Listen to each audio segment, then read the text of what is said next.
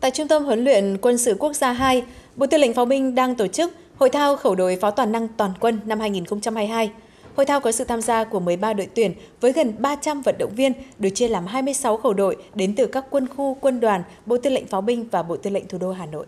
Và trong ngày thi đấu đầu tiên diễn ra hôm nay là sự tranh tài của ba đội tuyển đến từ các đơn vị Bộ Tư lệnh Pháo binh, Quân khu 3 và Quân đoàn 2.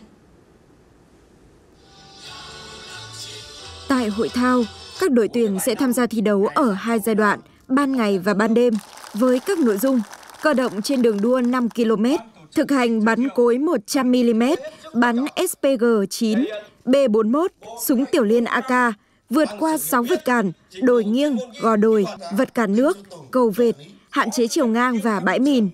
Qua hội thao sẽ tuyển chọn ra các vận động viên xuất sắc tham gia hội thao quân sự quốc tế.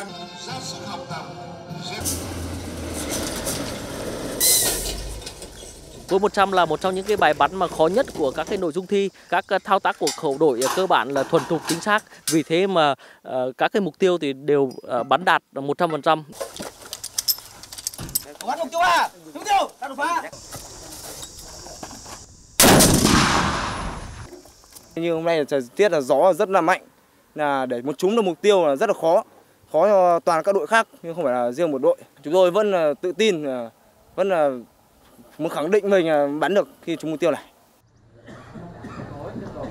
Các đội tuyển phải vượt qua rất nhiều nội dung thi, trong đó có nhiều nội dung mới với độ khó cao.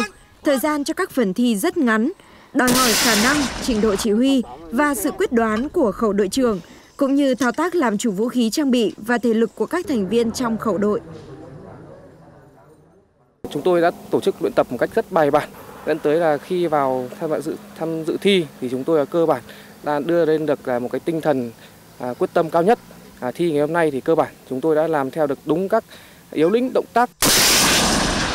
Đây là ngày thi đấu đầu tiên của hội thao à, khẩu đội pháo binh à, toàn năng toàn quân năm 2022. À, các đội tuyển thì gặp rất nhiều khó khăn do ảnh hưởng của điều kiện thời tiết. Tuy nhiên thì về cơ bản thì kết quả đều đạt tốt và đây là cơ sở để những ngày thi đấu tiếp theo các đội tuyển sẽ giành được thành tích cao hơn.